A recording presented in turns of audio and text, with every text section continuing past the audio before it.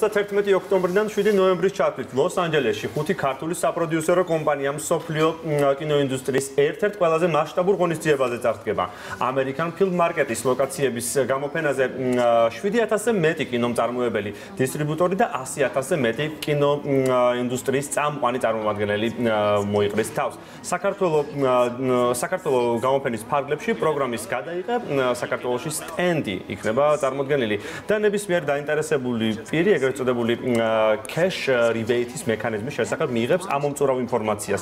ღონისძიების ფარგლებში ასევე ჩანიშნულია შეხვედრები კინოინდუსტრიის ისე წამყვან წარმომებლებთან, როგორიცაა Disney, Universal, HBO და Paramount. ქართულ მხარეს საშუალება ექნება სხვადასხვა მსხვილ ინდუსტრიას, კინო პროდიუსერსა და ლოკაციის მენეჯერს დეტალურად გააცნოს ქვეყნის პოტენციალი კინოინდუსტრიის მიმართულებით და ასე შემდეგ.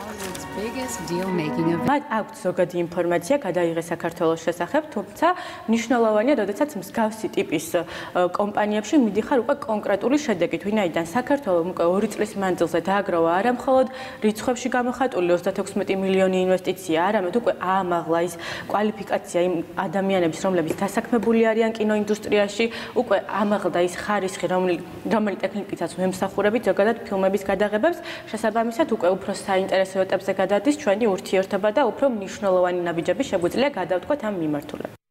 这里。